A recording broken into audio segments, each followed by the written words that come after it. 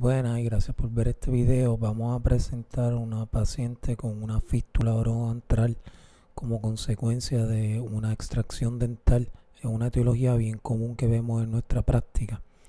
Y estos pacientes luego que los operamos tienden a quedarse con infección eh, persistente debido a que existe una comunicación entre la cavidad oral y la nariz y la comida puede subir. Pero lo que quiero presentar en este caso es que estos pacientes si los ponemos en irrigaciones con esteroides y en algunos casos con antibióticos como gentamicina, podemos controlar esa infección. Aquí pueden ver los senos paranasales totalmente saludables.